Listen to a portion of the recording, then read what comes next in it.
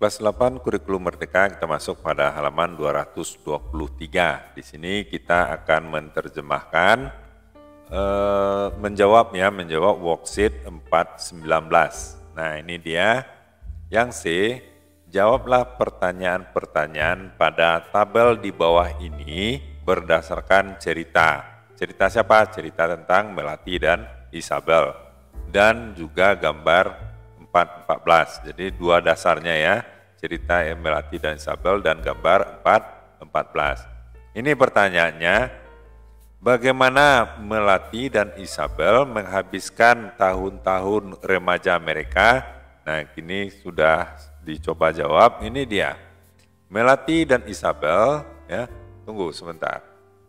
Melati dan Isabel menghabiskan masa tahun-tahun remaja mereka dengan member, membantu membersihkan Bali dari plastik, sampah plastik ya, dari sampah plastik.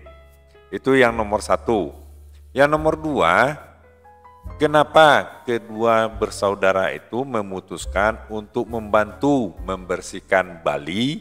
Nah jawabannya nomor dua, Dua bersaudara itu memutuskan untuk membantu membersihkan Bali karena karena mereka ingin melindungi lingkungan dan alam yang alami. Nah, itu nomor dua. Yang nomor tiga, apa yang mereka lakukan untuk memulai e, membersihkan pulau tahunan itu? Nah, nomor tiga yaitu mereka membawa alat pengeras suara dan berdiri di belakang truk yang eh, di belakang truk bak terbuka awalnya di minggu pagi.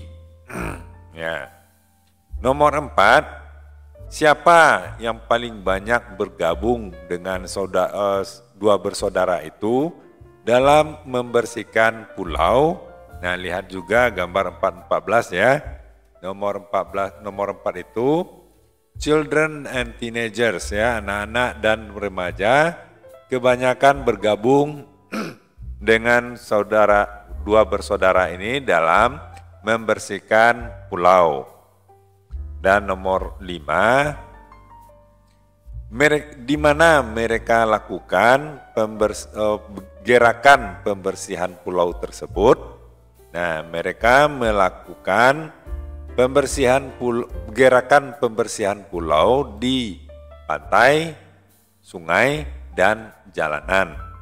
Itu jawaban untuk worksheet 419.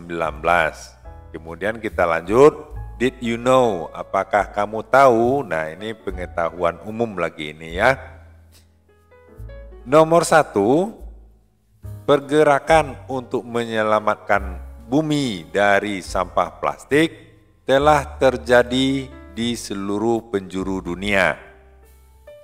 Nomor dua, satu pergerakan bersih-bersih yang penting, yang terpenting diorganisir atau digerakkan oleh dua remaja yang bersaudara, yaitu Melati dan Isabel Witsen di Bali, Indonesia. Nah, nomor tiga, dengan kampanye selamat tinggal kantong plastik ya. Bye bye plastic bags ini artinya selamat tinggal kantong plastik. Bersaudara ini telah meyakinkan ya. Uh, meyakinkan untuk Bali untuk melarang kantong plastik di tahun 2018. Nah, kemudian nomor 4 kalian bisa mendukung pergerakan mereka ini dengan mengklik www.buybuy.plasticbag.org untuk mendukung mereka. Nah ini sumbernya adalah https andplasticwaste.org dan juga One Green Planet. Nah itu sumbernya. Kalau kalian ingin mengetahui lebih banyak silakan klik sumber tersebut. Nah barangkali itu dulu untuk kali ini, jangan lupa subscribe dan like videonya, mudah-mudahan bermanfaat, sampai jumpa.